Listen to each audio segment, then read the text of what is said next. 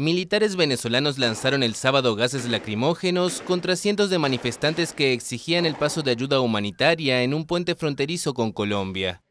La oposición venezolana buscaba sortear el cierre de fronteras dispuesto por el gobierno de Nicolás Maduro para trasladar toneladas de suministros básicos almacenados en ese país.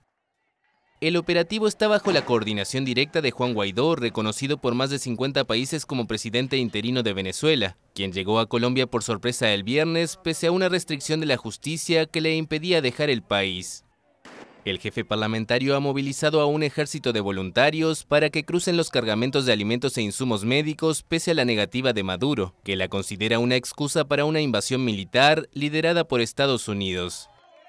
El gobierno chavista ordenó la noche del viernes el bloqueo total de los cuatro puentes que comunican al estado Táchira con el departamento colombiano de Norte de Santander.